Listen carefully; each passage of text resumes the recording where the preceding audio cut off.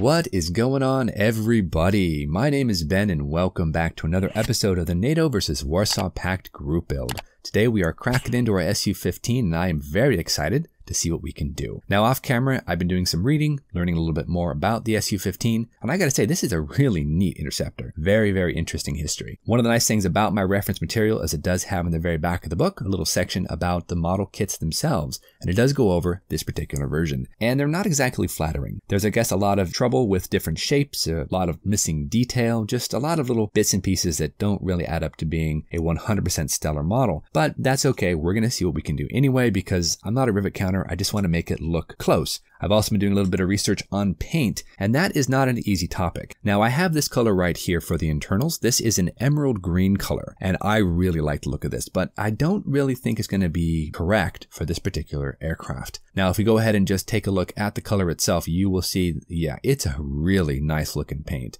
but I don't think I can use this. I think this is actually a little bit more for MiG aircraft, and I think it would be more applicable to later aircraft like MiG-31s, MiG-25s, stuff like that. I think that's a little bit closer. Here, it actually calls out a light blue-gray color, and I'm not really sure what to use for that. So I'm still kind of struggling with what colors to go ahead and use.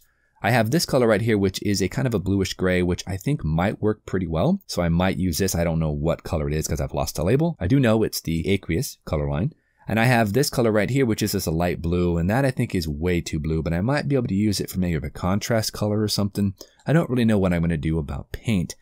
But all that aside, doesn't really matter right at this point because today I want to go ahead and just start some basic assembly. What I really want to focus on is trying to do a little bit of added detail. Now I'm not going to be able to get this thing 100% correct, not without at least going out and buying a new cockpit tub and a lot of the resin add-ons. I'm not really interested in doing that right now for this particular version, so instead we're going to work with what we have.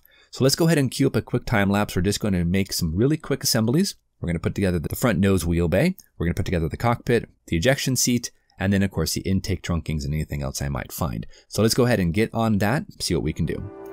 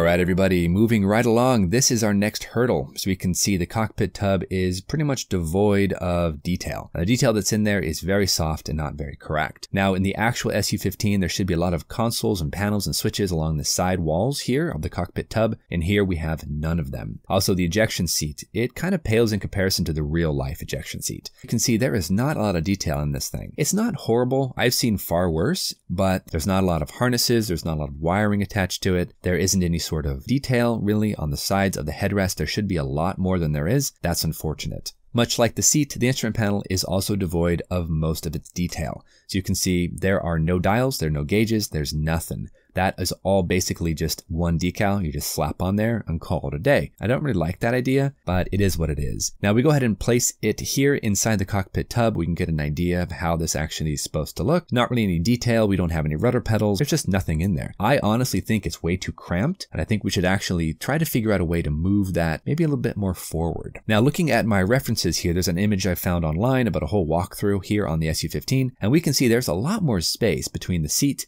and the front instrument panel. And I just don't get that impression with this. It looks like it's way too cramped, way too sandwiched together. I want to go ahead and use as many real life photos as I can to kind of spice up this cockpit as much as I can without going out and spending a bunch of money on a resin inserts, which I don't really want to do right now. But as you can see, there's a definite gap between seat and front console. So I want to go ahead and see if I can add detail and see if I can't move this front console back towards the front of the cockpit tub. Maybe about here or something, somewhere where it gives you a little bit more impression of some space between the pilot and the actual instrument panel itself. So something right around here, maybe kind of move that forward. What we're going to do real quick here is I'm going to just dry fit and make a quick mock-up of the fuselage and see if I can't figure out how everything goes together. Now let's go ahead and tape up some of the fuselage sides here with just a quick mock-up. Like I said, it's always a good idea to kind of test fit your parts.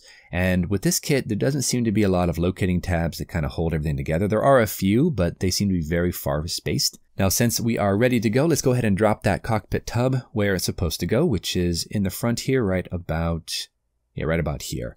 Drop that in, there's a little ledge that it sits on, and we can also tape up the very front of the nose to make sure that we give a little bit of pressure on that cockpit tub so it doesn't just fall out.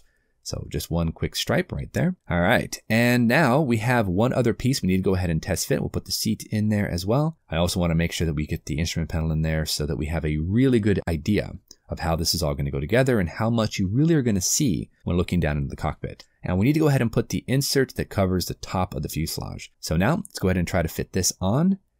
And I'm going to have to do some work with this. As you can see, it already fell backwards into the model. A little bit of a close up here, you can see that the coping right there underneath where the windscreen would go actually forces everything back into the seat. So what I'm thinking about doing is doing some modifications maybe to the front windscreen area. There isn't any detail under here either, and from what I can tell, there should be a lot more detail than we have. So we're gonna have to really do some work on this. Again, it's not gonna be accurate, but I think we can give it a little bit better approximation by putting some work into it. So I went ahead and quickly went into my spares box and I pulled out a ton of potential parts and pieces that I can use. For example, this might look familiar. This is the leftover photo etch from my Special Hobby G55. You can see they've got these really cool little side metal sections here. I'm not really sure what they are, but it doesn't matter. We can go ahead and glue them down to the inside of the sidewall, which would give a little bit of interest. It won't be accurate, but at least it'll be a little bit more fun to look at than what we have currently. So let's go ahead and cue up that time lapse, gather all the parts and pieces we can, and just see what we can do. Let's do it.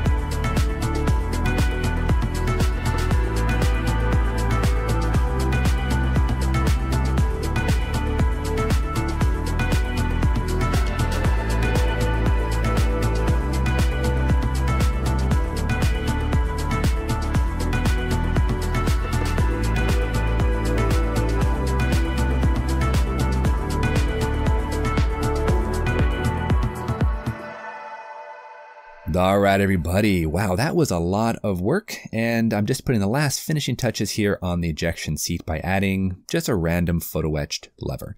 I don't know if this would actually be on the real ejection seat or not, but this thing does not look like it's supposed to. I just got to tell you, I mean, it's not going to either. Only way I could make that happen is if I go out and I buy a resin seat and then just replace it. But I don't want to do that. I want to see what I can do out of the box. That's always fun for me. So we're just adding one little random photo etch lever on this side of the ejection seat. It just gives it some interest. It looks better than having nothing there at all, but it's not going to be the most accurate kit out there either. So I'm just going to have fun with it. Now here is the cockpit tub as it stands right now with the ejection seat just dropped right on in there. As you can see, I think it looks a lot better. We've got some side consoles, we've got some switches and some dials. Went ahead and scratch built some wiring. I like it. I think it looks a lot better than what it came with right out of the box. And again, it didn't take too long to do. I even added some rudder pedals in there, which probably aren't correct, but you can see a little bit of a rudder pedal when you look at some of the reference photos. So I wanted to go ahead and add those in just in case you end up catching a little glimpse of them here and there. I mean, this thing has parts from a G55, it has parts from a Ki-84, it has parts from my FJ2 Fury, it has leftover parts from a bunch of different model kits, including I think a Panzer III and maybe even a KV-1. And it may not be 100% accurate, but I think honestly, it looks a lot better having some action, having some detail, just something to look at. Placing the front instrument panel inside, we can see I think it looks a lot better. I've actually covered up the old holes